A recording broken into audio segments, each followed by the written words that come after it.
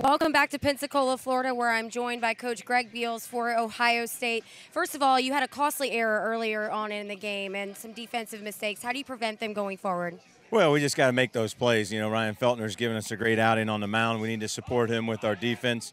That error uh, in the second inning allowed them to get two unearned runs. Fortunately, we got big hit right there in the in the top of the fourth, so we got a two-run bomb. We got it tied up right here, and uh, we got to continue to play good baseball and clean up a little bit of that infield defense. Absolutely. And talk about that home run from Connor Pohl. I know that you speak highly of him. What does he bring to the table, and how much momentum does that give you guys going forward in today's game? Well, he's a talented young man. He's a big left-handed hitter, and he's obviously made a couple really good plays on defense also as well. So a complete player. We're really excited about uh, about him and his future. And you know, more than anything, just we still got a lot of baseball here to play.